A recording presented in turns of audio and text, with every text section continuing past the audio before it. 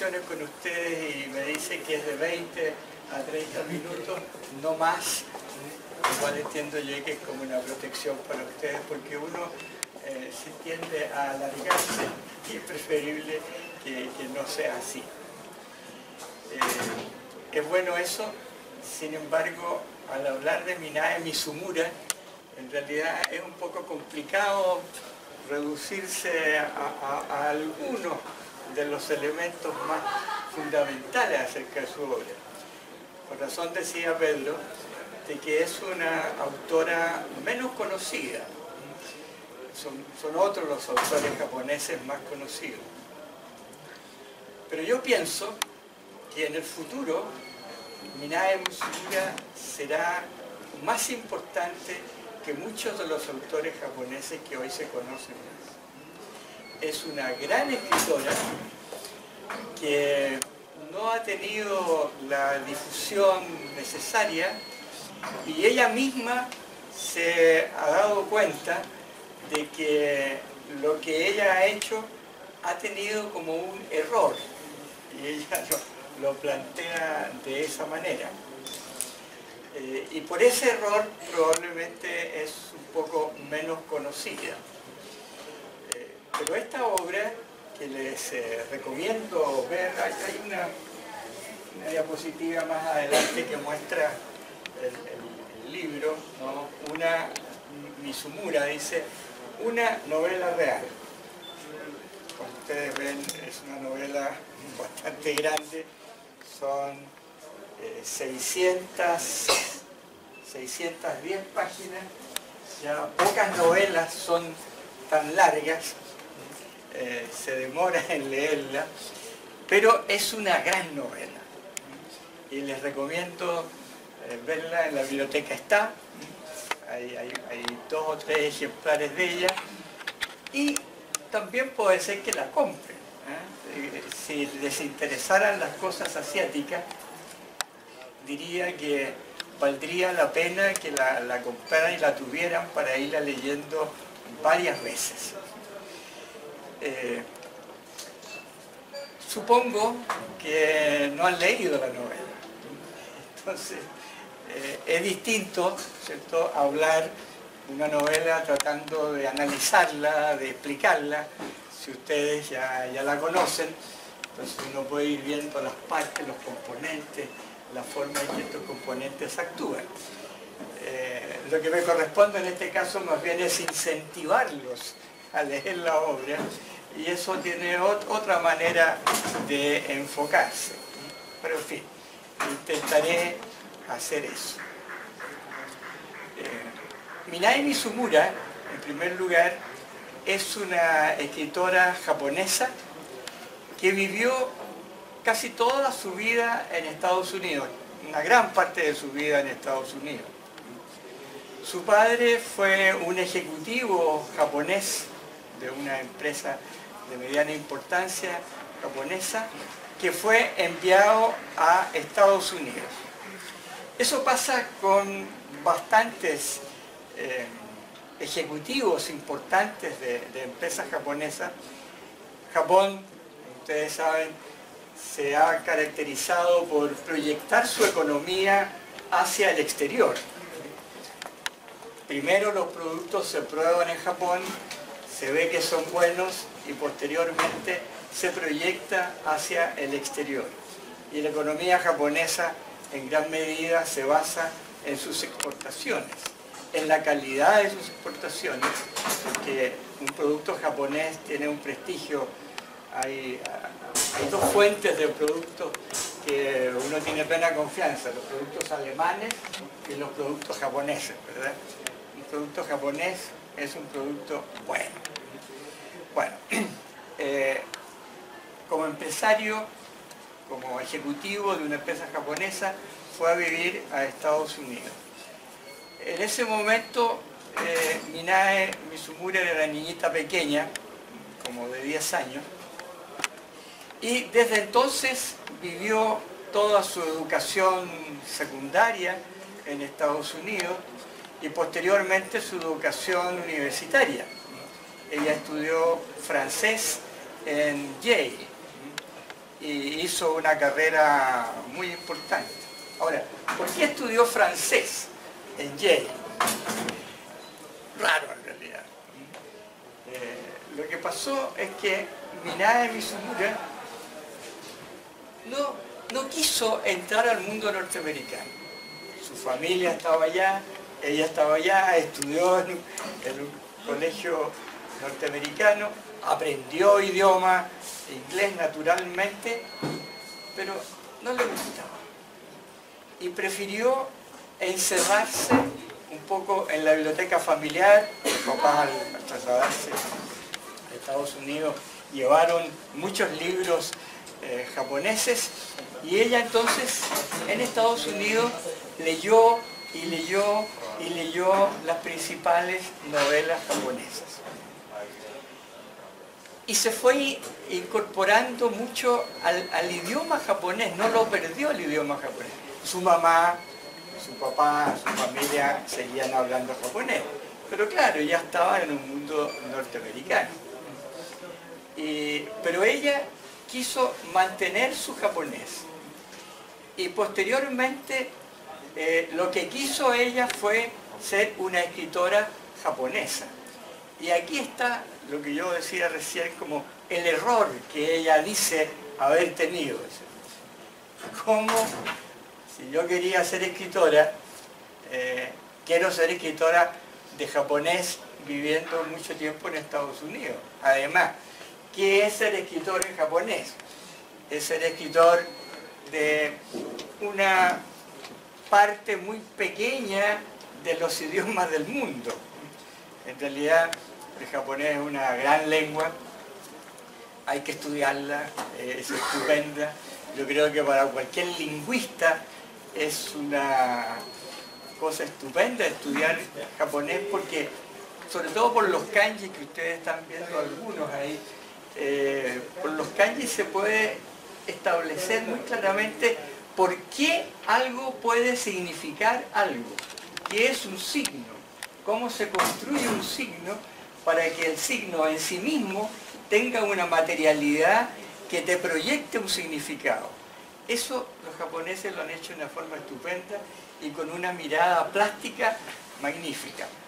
Bueno, la cosa es que siendo así, de hecho, el japonés es un idioma muy difícil, eh, no es tan difícil aprenderse palabras, e incluso los kanji son muy, muy difíciles de aprender, sin embargo, la estructura misma es tan distinta a la de otros idiomas que es muy difícil aprenderlo bien. Pedro ha, estudiado japonés y puede leer hasta textos antiguos en japonés, pero es, muy raro eso, ¿no? Muy poca gente puede hacerlo. Yo tuve una amiga mexicana, en los años que estuve eh, en la Universidad de Tokio, tenía de compañera una mexicana que estudió en el Colegio de México, estudió japonés en el Colegio de México, que es una muy buena eh, fuente de enseñanza del japonés. Y ella hablaba perfectamente el japonés. Y además se fue a Japón, estuvo viviendo mucho tiempo allá, yo la conocí cuando ya estaría unos 10 o 12 años en Japón. Ella salíamos a veces, conversábamos con algunas personas y ella hablaba un japonés estupendo. Y por lo tanto yo la escuchaba como conversaba con los japoneses y casi siempre pasaba que ella hablaba japonés y los japoneses le contestaban en inglés. Y ella se indignaba en realidad, no decía nada, pero se enojaba mucho. Pero ¿cómo si yo le estoy hablando en japonés? Si mi japonés no es más japonés, ¿por qué me contestan en inglés? ¿Por qué?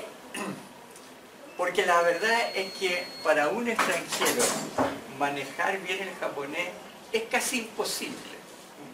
Es casi imposible porque eh, la, estructura mental, la gramática, la forma en que se hacen las frases tiene unos cambios tan fuertes que cuando uno aprende quizá no como Pedro que sabe mucho, pero cuando una persona normal aprende japonés, tiende a hablar japonés pero con estructura occidental, pone las palabras en japonés y en japonés lo nota inmediatamente.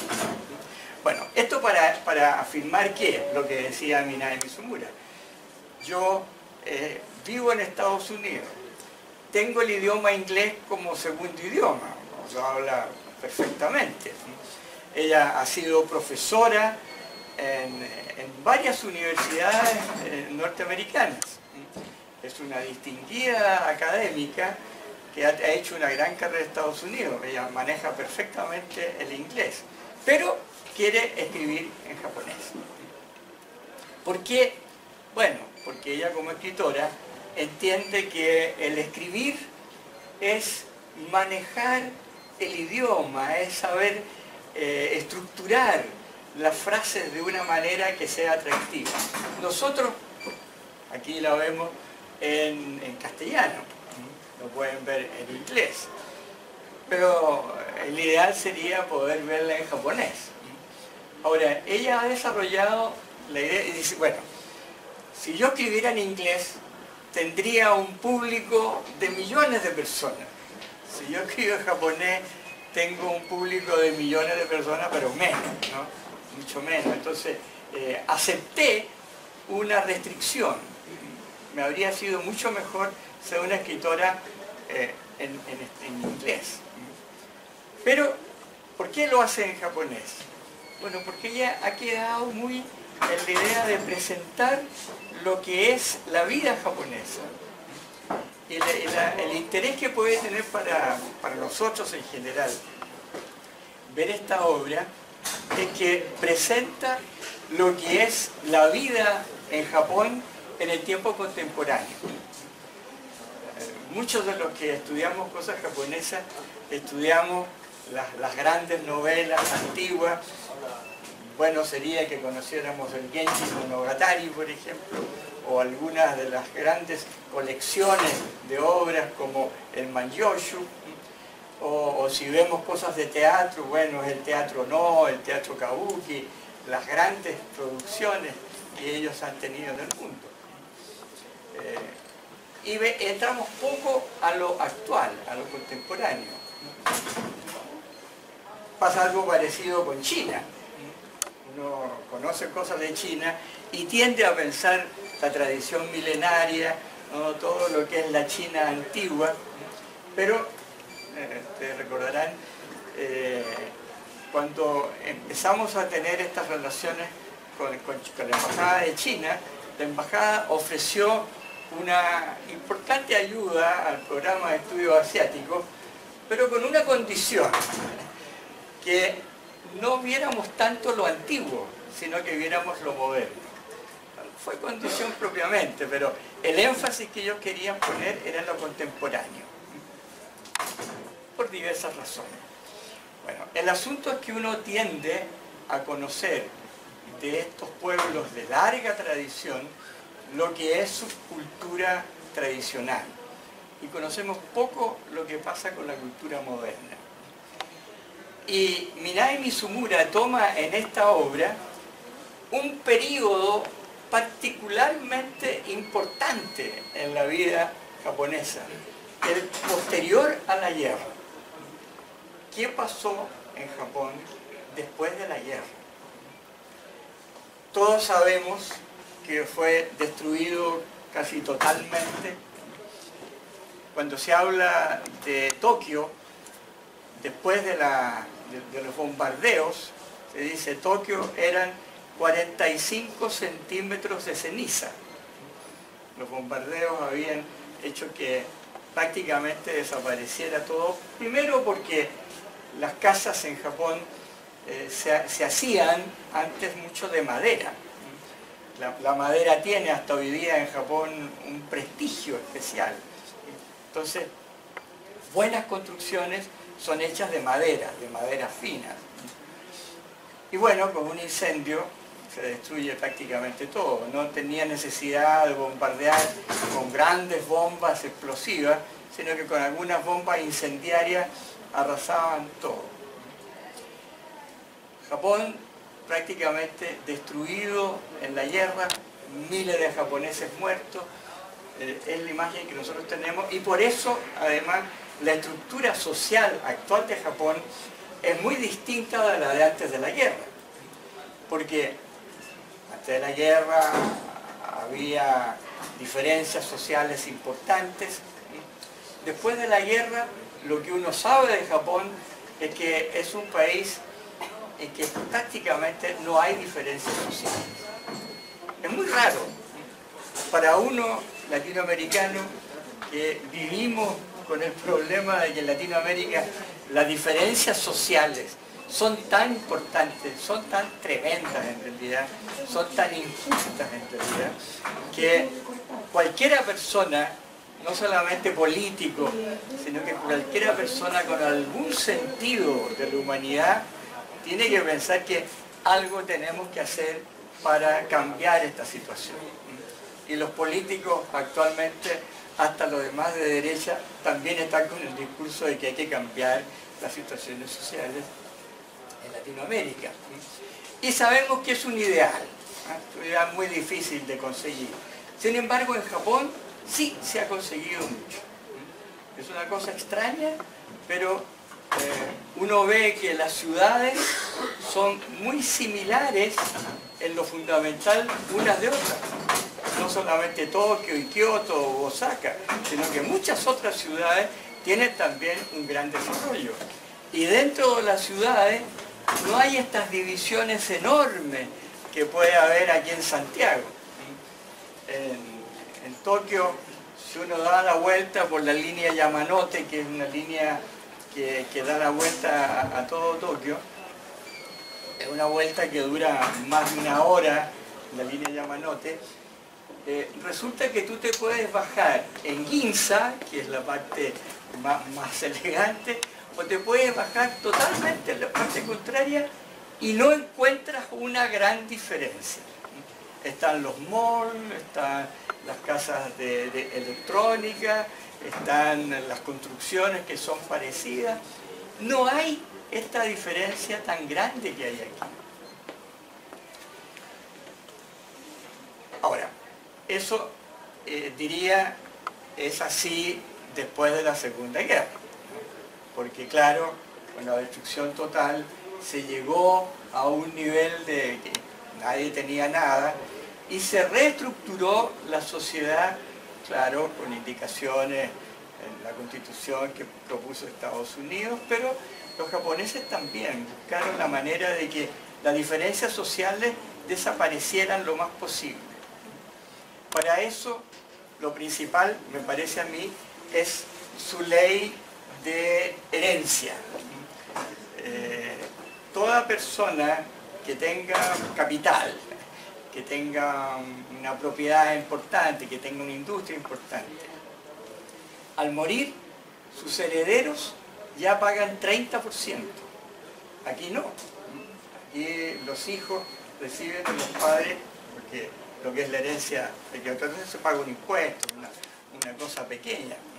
En Japón, en cambio, 30% desde la primera herencia y posteriormente la segunda y la tercera. Primero, porque cuando se produjo esta derrota total de Japón, bueno, Japón era un gran país, era un país poderosísimo, por eso entró a la guerra, por eso entró a luchar con, Rusia, entró a luchar con China, ¿eh?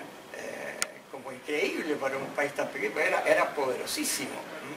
Y entonces, eh, haciendo esta lo, que pasaba con eso entonces es que había empresas importantes que tenían proyecciones internacionales y muchos empresarios tenían capitales afuera. Mitsubishi, por ejemplo, logró reconstruirse en gran medida porque había capitales que estaban afuera ¿eh? y que posteriormente, aunque muchos se confiscaron, se pudo reconstruir. Eso por una parte. Pero por otra parte, lo que uno no, no ve demasiado es que ciertas familias, ciertas estructuras permanecieron. Y eso es un poco lo que presenta Minae Mizumura en esta obra. Eh, en, la obra hay, hay muchos niveles de lectura, hay muchas estructuras distintas dentro de la novela, hay partes diferentes, de modo que cuando se va leyendo uno va entrando como paulatinamente a distintas etapas, que es una de las cosas quizás más interesantes de, esta novela. Y una de las etapas es la de esta familia, una familia que es una familia importante, eh, que vive en, un, pueblo, en, un sector que, es eh, elegantísimo y hasta hoy día, hasta hoy día es un pueblo eh, como especial dentro de Japón y que eh, mantienen ellos, aunque han, perdido mucho, pero mantienen una estructura familiar y social que los distingue, que ellos se sienten diferentes a los demás. Pero eso se mira desde el punto de vista de la empleada que trabajaba con ellos. Una mujer modesta, una mujer de campo, que posteriormente va a vivir a Tokio y que empieza a trabajar para esta familia y, conoce por lo tanto cómo es la, la, vida interior de una familia rica, siendo ella una mujer modesta. Entonces, uno empieza a darse cuenta de que esta estructura social que parecía haberse terminado existe. Y en Karizawa, Karizawa es este pueblo que les digo, eh, había hasta hace, hasta hace poco una diferencia importante con otras ciudades siendo todas muy igualitarias. Mirai Mizumura toma esta idea y la presenta. Y en esa casa hay una, una familia que son sus empleados, que le han dado una casita al lado, y, o sea, porque le sirven a ellos. Y ellos todavía, esta familia secundaria, pobre, ha acogido a un niño que salió un poco, parece como hijo, hijo bastardo de, de la familia, lo recogen pero tenía algo que ver como con Manchuria, algo con China. Entonces, dentro de esta familia modesta, a ese niño también lo segregaban. Y este niño empieza a vivir en esa familia de una forma en que se ve que hay una injusticia enorme respecto de él. Y entonces esta familia, más o menos rica, empieza como a ayudar un poco a este niño haciendo qué? Bueno, la empleada es una señora. Este niño no es ni siquiera hijo de ella, pero vive en la casa de ella. Bueno, que venga a la casa y venga a almorzar, que limpie vidrios, haga alguna cosa, para, para que tenga algo. Un niño muy, muy, muy eh, dejado de lado de todo. Y muy, muy, muy sencillo, muy, muy especial. Bueno, pero este niño va a ser después el protagonista de la segunda parte de la obra. Porque por una serie de circunstancias que que ustedes la vean, este niño se va a vivir a Estados Unidos. Y en Estados Unidos resulta que empieza a trabajar muy modestamente, pero era muy inteligente. Tenía una memoria fabulosa, tenía una capacidad de comprensión que era magnífica, y entonces, aún trabajando en unos puestos muy, muy secundarios, empieza a, distinguirse y empieza a progresar y empieza a convertirse en un hombre importante dentro de esa empresa. Y después pasa a, a, él incorporarse a una empresa más grande. Y después pasa a él a ser empresario. Y después pasa a él a ser un millonario en Estados Unidos. Entonces, representa, Taro Asuma, que es el personaje, representa lo que dentro de la historia de, Estados Unidos y de lo que es los ideales es el ideal americano. El ideal americano, el hombre que parte desde abajo y que por su esfuerzo logra convertirse en un hombre adinerado y en un hombre con poder.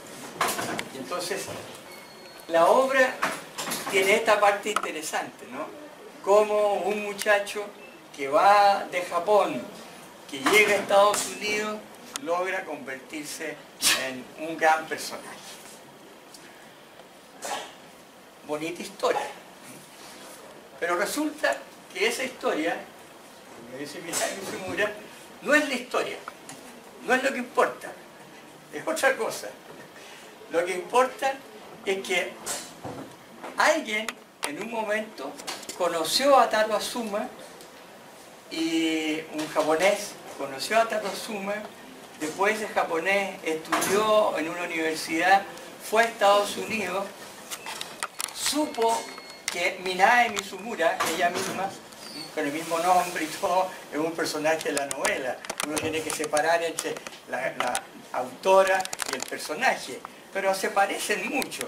Y ella misma en conferencia ha dicho, sí, esta es una obra muy autobiográfica. Bueno, este estudiante que había conocido a Taro Azuma y que había visto que se había convertido en un millonario en Estados Unidos y que era como el ideal del japonés que había triunfado en Estados Unidos, sabe que esta familia lo conocía, porque ella estaba en esa familia elegante de antes y se habían ido a Estados Unidos, pero después perdieron de vista a Taro Azuma. Y entonces va un día y quiere conversar con ella para que le dé un poco más datos sobre Taro Azuma. ¿Qué, qué, qué, cómo fue esto? ¿Cómo pudo ser que fuera eso? Si usted lo conoció cuando era joven, cuando era niño, quisiera conocer un poco más. Y va y le empieza a contar. Hay toda una manera bonita, interesante, como siendo ella profesora en la universidad y estando una tarde en su oficina, llega este señor a conversar con ella. Ella, como profesora, lo atiende, decide conversar con él, a ver qué es lo que pasa. Y empieza a meterse en una historia que esta historia de Taro Azuma y empieza a conocer toda una realidad, a darse cuenta de una realidad impresionante. Y aquí todavía va a venir otro de estos niveles importantes de distinguir en la novela. ¿Qué piensa eh, Minae Mizumura? Este señor vino de Japón, supo que yo estaba aquí, vino a conversar conmigo, me conversó esto, pero él no se, no se imagina lo que hizo. Lo que hizo fue darme el material para que yo escriba una novela. Yo siempre he querido ser novelista, he hecho novelas, me ha resultado más o menos, pero quiero ser mejor novelista, pero no, no, no, tengo los elementos como para hacerla. Y este hombre, sin querer, me trae esta historia que a mí me resuena mucho porque yo lo conocí un poco, no lo conocí totalmente, pero lo conocí un poco y me hace eh, reestructurar totalmente lo que vamos a hacer. Y entonces por aquí empieza a aparecer, digo, otro nivel de la novela. ¿eh? Y es a lo que eh, Mirai Mizumura normalmente se refiere cuando se le hacen entrevistas acerca de esta obra que se está convirtiendo cada vez en una obra más importante. Cuando le han hecho entrevistas, ella dice, ¿cuál es el tema de esta novela? El tema de la novela es cómo se hace una novela. Los demás son elementos secundarios. Pueden servir para entender lo que es la vida japonesa, para qué es lo que es la vida de un japonés en Estados Unidos, para ver la diferencia de clase, todos estos temas que he estado rozando en esta exposición. ¿eh? Pero el tema de ella es cómo se hace una novela. ¿Qué es ser escritora? Y de hecho, si uno, ve la, novela, parte ella con una pequeña introducción en la que ella lo primero que dice, la profesión de escritor y la vocación para hacerlo son cosas diferentes. Todo el principio, todo lo que habla ella es, ¿qué es ser un escritor? Y, luego dice, bueno, ser escritor, hay, hay varios párrafos antes, ser escritor significa ser artista, algo innato en algunas personas, regido por fuerzas invisibles del universo, más allá de la comprensión humana. Algo tienen los artistas que lo son, que interpretan una realidad humana y lo hacen de una manera que no se puede saber bien por qué lo hacen de esa manera. Entonces, ese misterio de por qué alguien se dedica a ser artista, por qué alguien quiere ser artista, por qué alguien hace algo como una novela, eh, es lo que importa. O sea, uno, para los 20 minutos no creo que me estoy pasando. Eh, la, cosa es, primero, una novela que, ¿por qué habría que leerla? Claro, porque está planteando el Japón contemporáneo. ¿Qué pasa con una familia japonesa que se va a vivir a Estados Unidos? A este Taro Asuma le pasa eso otro, pero no, ella es una familia, su padre, su madre, su hermana, ella vive en Estados Unidos. Ella eh, estudia en Estados Unidos, se convierte en profesor en Estados Unidos, trabaja un tiempo en Estados Unidos, después quiere volver a Japón y vuelve. Pero esta historia es una parte, ¿eh? es una historia además que representa mucho de muchas personas japonesas. A mí una de las cosas que me, por las que entré mucho a esta novela y a esta situación es porque uno de mis amigos japoneses, Hiroshi Osawa, eh, que es bien amigo mío, Hiroshi, bueno, Hiroshi Osawa fue como él, fue eh, gerente de, una empresa japonesa en Estados Unidos. Después lo trasladaron a México, después lo trasladaron a Chile. ¿ah? Y aquí nos conocimos bastante. Y él era el gerente de esta empresa. Y bueno, yo veía qué significaba para un japonés vivir afuera. Vivían bien, ¿no es cierto? A un gerente de una empresa se le, paga bien, viven bien. Pero también, ¿qué pasa con una persona que vive en otra parte? La añoranza de su país. ¿Qué le pasa a Minae en Estados Unidos? Está en Estados Unidos, está en el centro del mundo, pero ella quiere su país. Ella quiere su, su sentido de la vida que se le da más en Japón que en otra parte. Y entonces está otro tema y otra capa. ¿Qué pasa con las personas que se van a vivir a otra parte buscando una vida mejor y que la encuentran, a veces sí, a veces no? Y a veces, encontrando una buena situación económica, no es lo que realmente quisieran. E, e, eso pasa. ¿ah? Entonces, Aquí lo que está haciendo Minami Mizumura es intentar entender qué pasa íntimamente a las personas que están teniendo una vida que no eligieron realmente, que han elegido en parte, pero que las condiciones por las cuales se va desarrollando las maneja un poco, un poco sí y un poco no. Varias de las elementos de, esta novela van a decirnos esto. Primero, ella va a convertirse en esta escritora que es por esta cosa rara de un señor que le fue a conversar, que le habló de un tema que le interesaba a él, pero que a ella le resonó. Él no, esperaba hacer eso, no quería hacer eso. ¿ah? Ella no sabía que alguien pudiera venir a hacerlo, no estaba esperándolo, pero se le produjo. Y posteriormente va a suceder que varias de las situaciones de la obra van a ser así. Van por un lado, pero de repente resulta otra cosa. Y la vida se te encamina por otro lado. Y puede ser que seas exitoso en un aspecto, pero muy eh, carente en otro aspecto. ese, ese estudio o esa profundización en lo que pasa en las personas es uno de los elementos interesantísimos. Aquí Taro Suma le decía un niño que entró a trabajar a la casa de esta familia eh, más o menos rica. Eh, ¿Y qué, qué hace? Tenía 11, 12 años. Y en la casa había una niñita chica también, más o menos de su edad. Y como chiquititos comienzan a jugar, comienzan a hacer las cosas que los cabros chicos no importan nada. Pero empiezan a crecer y empieza a producirse una situación de amor entre ellos. Que no podía ser situación de amor, si el gallo era patipelado y la niña era de una familia elegante, no, no podía ser. Pero ella de algún modo se interesa por él. Y él no puede decir nada porque eh, está en, un nivel al cual él no tiene acceso. Pero llega en un momento un poco más arriba, un poco de más edad, como a los 15 años, en que ya, ya se dan cuenta más lo que pasa.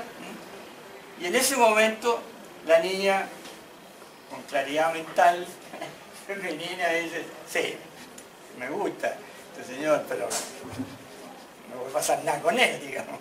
Está en un plano y que no puede ser, y lo rechaza. Y le dice que no, que sí, jugar sí, pero nada más. Y de ahí sale esta idea de él de irse de Japón. Y consigue un trabajo de chofer en Estados Unidos. Ya tendría como 18 años a esto. Y se va a Estados Unidos a ser chofer y, empieza. Pero ¿por qué se va? Porque a su niña no, podía conquistarla, no tenía nada, y a lo mejor él podría en Estados Unidos conseguir algo. Y por eso en Estados Unidos lucha y trabaja y trabaja y trabaja y ahorra todo lo posible y va subiendo y va subiendo y todo lo que tiene todavía le es poco, porque lo que él quiere es poder volver a Japón y poder decirle a esta niña, mira, ¿ah? tú no quisiste conmigo, pero mira quién soy ahora. ¿ah? Y eso sucede, ¿ah? sucede. Vuelve a Japón él convertido en un millonario. Pero la niña ya estaba casada. La niña ya, se había casado y entonces eh, no podía realmente pasar realmente mucho. Sin embargo, empieza a haber una relación ella se había casado con un señor, este señor supo de este amor que ella tenía por este hombre y le había dicho, fíjate, mira, casémonos, yo entiendo lo que te pasa a ti, pero yo te quiero mucho a ti ¿eh? y acepto que si alguna vez él viene, tú estés con él. ¿eh?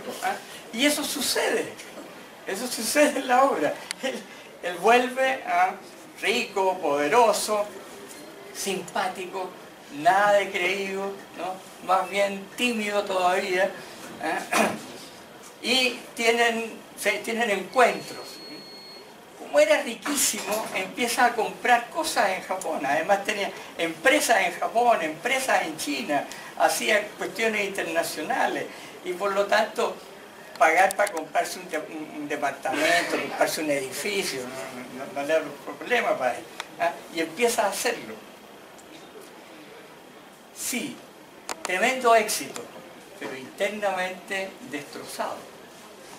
Internamente destrozado porque no podía conseguir, a pesar de todo lo que había conseguido, no podía conseguir lo que quería. Entonces, como te digo, la novela va caminando por una serie de, caminos. Ah, por esta historia así, esta novela eh, es una, una paráfrasis, una manera de hacer otra versión de Cumbres Borrascosas, que es una obra muy famosa, es una novela del romanticismo, antes se conocía mucho, hoy día por mucho menos, debe estar aquí Cumbres Borrascosas, si la quieren leer. Es lo mismo que Cumbres Borrascosas porque ahí también se da esto. ¿Cuáles son las Cumbres Borrascosas? ¿No? De el, amor entre una niña poderosa, una gran familia y un hombre humilde, un hombre modesto. Y eso sucede muchas veces.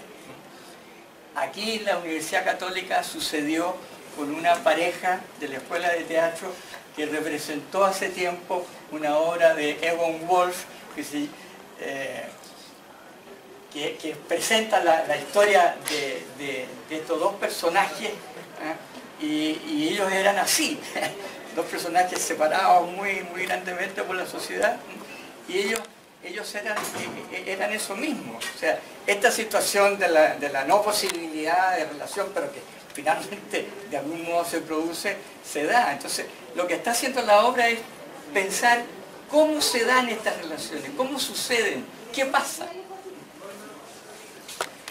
En el contexto de un Japón contemporáneo, en el contexto de una visión de lo que podría ser un cambio en la sociedad.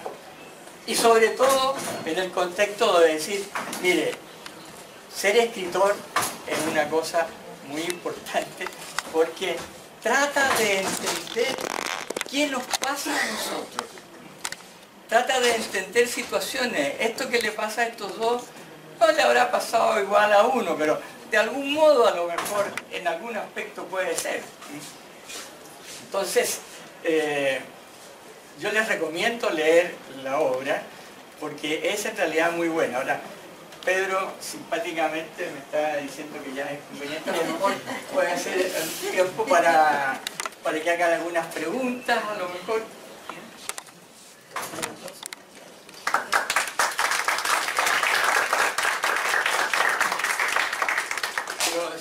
¿Sí? ¿Alguna pregunta? ¿Sí? una, pequeña consulta. Eh, pasa a veces que las novelas cuando se traducen, generalmente como que se deslava, se, se le pierde la cosa. o... Y otras partes que están en japonés. Pero aquí al traducir, lo traducen todo al castellano. Entonces eso ya, ya pierde un poco un elemento que para ella es muy importante. Es decir, si los idiomas ahora se están mezclando las culturas se están mezclando y los idiomas se mezclan. Entonces ella quiere que en esta obra haya esa mezcla. Pero aquí al traducir lo tradujeron todo. Y dice, y esta obra, extrañamente, no se podría traducir al inglés. Porque claro, al traducir al inglés, los japoneses ponen inglés y lo en inglés queda inglés y entonces se pierde este juego que ella quiere hacer. ¿Alguna otra consulta? Bueno, espero que les haya por lo menos interesado el tema. Es una obra realmente muy, muy buena. Es larguita, es larguita, pero como tiene varios niveles, se va metiendo uno por distintas maneras y es muy, muy, muy interesante. Y para conocer el Japón moderno y para conocer Estados Unidos moderno también, también es interesante. Muchas gracias.